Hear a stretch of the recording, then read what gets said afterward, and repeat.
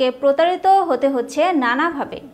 ওরা সাতজন সদস্য, এক একজনের হয়তো চার পাঁচ টাকার আইডি আছে, ওরাই মেম্বার এবং একটা পণ্য সম্বন্ধে ওরা নিজেরাই বলে, খুব সুন্দর হয়েছে আগের পণ্যটা আমি পেয়েছি কোয়ালিটি খুব ভালো, আমি আরেকটা চাই। এইভাবে দিয়ে দিয়ে ওরা ফেসবুকে একটা আকর্ষণ তৈরি করে দেয়, তার একজন দেখে উদ্বুদ্ধ হয়।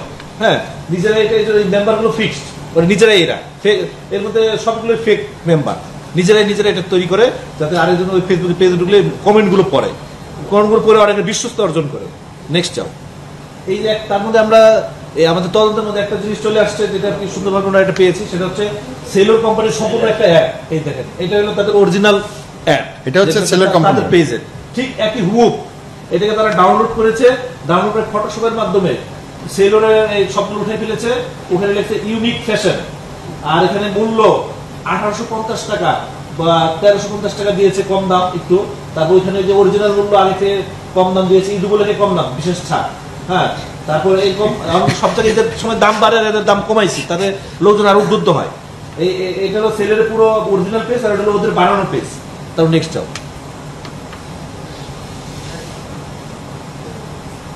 এই যে আমাদের এখন এই যে এদের এই যে টোটাল সতেরোটা আমরা এই ফেসবুকে পেজগুলো পেয়েছি, ওদের হলো হয়তো বা আরও আছে। বেশগুলো আমরা ঢুকতে পারি নাই, বলে যে আমরা পাসওয়ার্ড ভুলে গেছি। মানে ওরা প্রতিদিন নিত্য নতুন তৈরি একটা পেজ তৈরি করে। তো পেজ তৈরি করতে একটা লাগে এত দুই- দুই ঘণ্টা কোনো টাকা পয়সা লাগে না। ইন্টারনেটের বিল খালি মাসে হলো পাঁচশো টাকা। হ্যাঁ এই তো খুব সহজ একটা বিজনেস যাই হোক এ- হলো এদের মধ্যে যে বিভিন্ন বিষয়ে কাপড় চোপড় তো আছে গহনাও আছে বিভিন্ন যখন যেটা প্রয়োজন। গয়না মহল না গহনা মহল না ওটা। এই আমরা এখন ঢুকবো একটা হ্যাঁ এখন এই ওই- যেটা আমরা একটু দেখালাম ইউনিক ফ্যাশন ইউনিক ফ্যাশনের পেজে ঢুকাতে ইউনিক ফ্যাশনে ক্লিক করো। হ্যাঁ ক্লিক করো। এই যে, এটা হলো ইউনিক ফ্যাশন ওদের পেজ হ্যাঁ নিচে যাও। এই ইউনিক ফ্যাশন এই যে মোবাইল নাম্বারগুলো সব আমরা পেয়েছি, ওদের কাছ থেকে সব দপ্তর হয়েছে নিচে যাও, আরও নিচে যাও। নিচে যাও, এই যে ওদের অ্যাড হ্যাঁ খুব দামি দামি এদের এত সুন্দর একটা পাঞ্জাবির দাম মাত্র তেরোশো পঞ্চাশ টাকা। ওই যে এত সুন্দর পাঞ্জাবির দাম খুব কম চব্বিশটা পেজ আর যাও, নিচে যাও। হ্যাঁ তাও। এই যে এই যে এটাও কত সুন্দর পাঞ্জাবি, মাত্র চোদ্দশো পঞ্চাশ টাকা। দাম তো মনে পাঁচ, সাত হাজার টাকা কম হবে না। এরকম দেখা দেখে লোকজন কম দাম দিয়ে দিয়ে এই আঠাশশো এটার দাম মাত্র তেরোশো পঞ্চাশ টাকা। এরকম কম দাম দিয়ে আহ, মনে করে যে একটু কম দামের মধ্যে পাবো কিন্তু যখন অর্ডার অর্ডার দেওয়ার পরে এরকম এরা বঙ্গবাজার থেকেও কিনে সব। সব বঙ্গবাজার বঙ্গবাজারের বঙ্গবাজারে যেখান থেকে কিনে সেখানেও আমরা গিয়েছি। হ্যাঁ দিয়েছি বঙ্গবাজার যে দোকান থেকে কিনে এগুলো দেড়শো থেকে দুশো টাকা দাম। এগুলো যেগুলো ম্যাক্সিমাম ওরা পাঠায় না যেগুলো কদাচিৎ কিছু পাঠায় বারবার ফোন করার পরে এই এরকম লো কোয়ালিটি পাঠায়। পাঠানোর পরে ওরা খুলে খুলে দেওয়ার খুলে দেখার আগেই পেমেন্ট বিশেষ করে এসে পরিবহনের মাধ্যমে পেমেন্টটা হয়। আমরা দেখলাম এসে পরিবহনে বেশি এটা ইউজ করে। এসে পরিবহন টাকাটা নিয়ে এসে পরিবহন আবার ওদের কাছে টাকাটা পাঠিয়ে দেয়। হাতে পাওয়ার পরেই ওর বলে এটা আমাদের লাইবিলিটিটা আপনার প্রয়োজন ওদের সাথে যোগাযোগ করুন ফোনে যোগ ওরা যদি আমাদের বলে ফোন করে তাহলে দিব। আর ওরা ফোন করে এসে কখনো বলেও না টাকাটাও ফেরত পায় না। এই পরেরটাই যাও আরেকটাই যাও। এটা আর- আরেকটা page lifestyle lifestyle mobile ওদের নিজেদের পেজ তারপর মোবাইল সবে যাও নেক্সট যাও এই যে মোবাইল মোবাইলের ক্ষেত্রে মোবাইলে যাদের আইফোন এদের মাত্র পঁয়তাল্লিশ হাজার পাঁচশো, এটার দাম এক লাখ দশ হাজার অরিজিনাল দাম। মানে এরা বলে যে এটা আমরা ইন্ডিয়া থেকে বা পাচারের মাধ্যমে গোপনে ভাবে নিয়ে এসেছি, এটা আমরা কম দামে সেল করে দিব। এই কথা বলে ওদের উদ্বুদ্ধ করে, উদ্বুদ্ধ করার পরে যখন এই যে এই যে চার, মাত্র চার হাজার আটশো টাকা দাম আইফোন এক্স হ্যাঁ তিন হাজার সাতশো পঞ্চাশ টাকা দাম। তাহলে এত কম দামে একটা সেট পেয়ে যাবে এই লোভে পড়ে। লোভে পাওয়ার পরে তখন যখন পাঠানো হয় কুড়িয়ে, টাকাটা বলে, টাকাটা অ্যাডভান্স দিতে হবে। অথবা যদি কোনো সময় রাজি না হয়, বলে তাহলে আপনি ফিফটি পার্সেন্ট দেন, পাওয়ার পরে ফিফটি পার্সেন্ট দেন। যেভাবে হোক একটা টাকা তাদের কাছে নেওয়ার চেষ্টা করে। ওর পাঠানোর পরে ওরা বক্সের ভিতরে শুধু একটা হেডফোন অথবা একটা সাবান, অথবা আমাদের বিমবার এসব পাঠায় দেয়।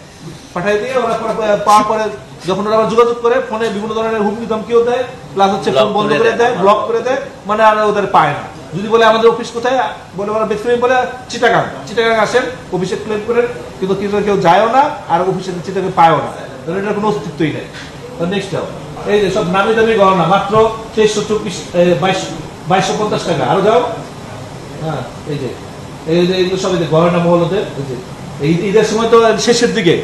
তখন তো সবার কাপড় চোপড় কিনা হওয়ার পর একটা গয়না কিনে। এটা এখনও শুরু করে নাই। আর কয়েকদিন পরে শুরু করবে, দশ বিশ রোজা যাওয়ার পর। এই- যে দাম খুবই কম, মাত্র পঁয়তাল্লিশশো টাকা।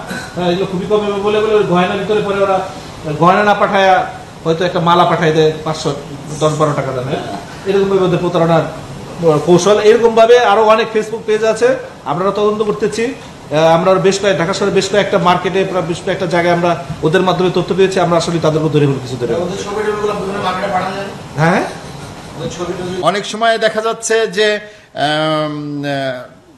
বলল যে, ঠিক আছে, আপনার বাসায় পৌঁছিয়ে দেবো, আমাদের লোকজন পৌঁছাবে, তা আগে অ্যাডভান্স সার্ভিস চার্জ দেন, আমাদেরকে দুশো বা তিনশো টাকা সার্ভিস চার্জ দিতে হবে। এই দুশো, তিনশো টাকা পাওয়ার পর তারা আর কোনো পণ্য সরবরাহ করে না। তো যখন তাদেরকে ফোন করা হয় যে, আমার পণ্য পাইনি তখন তারা বলবে যে, কে বলেছে? আমাদের কাছে সমস্ত ডকুমেন্ট তারা আবার নিজেরা কাগজপত্র বানিয়ে রাখে। আমাদের কাছে সব ডকুমেন্ট আছে যে আপনি যে পণ্য বুঝে পেয়েছেন। বলে ওইটা আবার তারা তাকে মেল করে বা মেসেঞ্জারে বা বিভিন্ন ভাবে পাঠিয়ে দেয়। অথবা যদি বলে, আপনার যদি কোনো কোয়ারি থাকে, তাহলে আপনারা আসুন আমাদের অফিস চিটগং। তারা অফিসের পরিচয়টা চিটগং দেয়। যে চিটগং অফিস আছে, এখানে আসুন, এসে কমপ্লেন করুন, আমরা তদন্ত করে দেখছি। তো একটা পণ্য সাধারণত তারা সর্বোচ্চ নিয়ে থাকে এক দেড় হাজার টাকা। এই এক দেড় হাজার টাকার জন্যে কেউ যে ঢাকায় এসে বা চিটংয়ে যে যে কমপ্লেন করতে আসবে না, এটা তারা নিশ্চিত হয়েই তারা এই প্রতারণার কৌশলটা নিয়েছে। তারা এক একজনের থেকে সামান্য করে পয়সা নেয়, একদিনে হয়তো একশো দেড়শো লোকজনের কাছ থেকে প্রতারণা করলে তাদের দেখা যাচ্ছে পঞ্চাশ হাজার, এক লাখ টাকা পার ডে এভাবে প্রতারণার মাধ্যমে আয় করে ফেলে। তো এই যে বিভিন্ন যে প্রতারণার কৌশল এই কৌশলটা আবার যে বললাম যে কুরিয়ার সার্ভিসের ছাড়া নিজেরাও আবার দিয়ে থাকে। তো নিজেরা দিলে পারে অ্যাডভান্স সার্ভিস চার্জটা নিয়ে নিবে, যে আমাদেরকে সার্ভিস চার্জ অ্যাডভান্স দিবেন।